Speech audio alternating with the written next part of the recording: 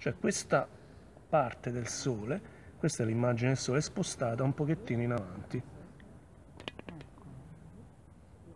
Quindi si può vedere a occhio qual è la differenza col solstizio del 1721. E il giorno del solstizio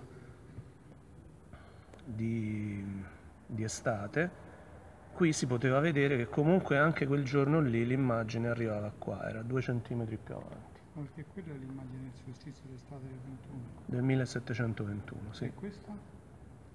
E questa No, è... è.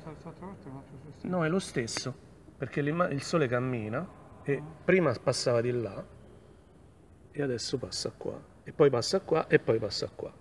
È un progredire della- dell'immagine solare. Allora ti dicevo, la differenza tra il giorno solare medio